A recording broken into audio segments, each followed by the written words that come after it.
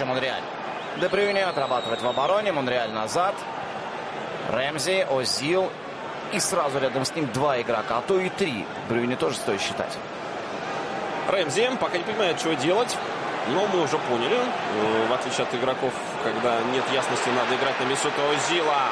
Волкот. Удар поворотом. 1-0. Тео Волкот. Первый удар, и он же оказывается точным. Ну а кто отдал? Давайте смотреть. Конечно, предмет офсайда интересует всех. Офсайда не было. По-моему, Каларов задержался. И дальше обводящий удар. Какой Тео Уолкот. Не сумел его накрыть Бакари Саня.